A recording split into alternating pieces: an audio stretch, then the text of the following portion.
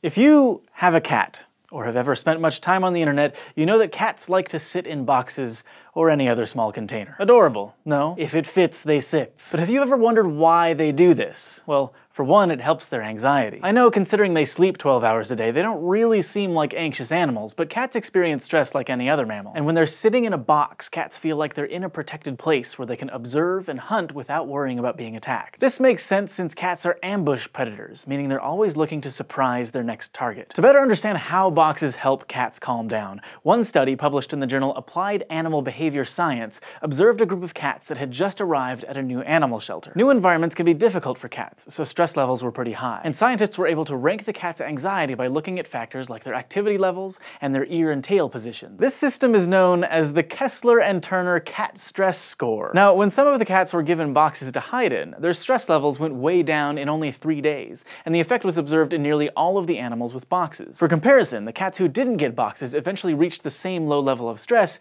but it took them two weeks. So, especially in high stress situations, it's important for cats to have an enclosed space to retreat to and feel protected protected. This is also true of large cats, like tigers and jaguars, except instead of hiding in your latest Amazon box, they'll hide in trees, caves, or other concealed spaces. But there's another reason cats like boxes so much. Apparently, our houses are too cold. While you might enjoy a comfortable 24 degrees Celsius, cats prefer much warmer temperatures, between 30 and 36 degrees, according to a study by the National Research Council. By curling up in a cardboard box, cats can trap some of their body heat to make up a few of those degrees. That's also why cats like basking in sunlight or curling up on top of your heating vent. So if you have a kitty at home and you want to keep cat stress at bay, just make sure they have a nice cozy box to sit in. Thanks for watching this episode of SciShow, and a special thank you to all of our patrons on Patreon. If you want to help us keep making this show possible, possible, you can go to patreon.com slash scishow, and for more episodes like this, go to youtube.com slash scishow and subscribe.